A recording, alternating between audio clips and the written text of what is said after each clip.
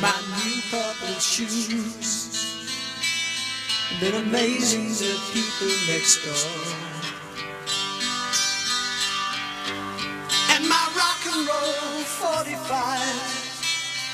Been enraging the folks on the lower floor.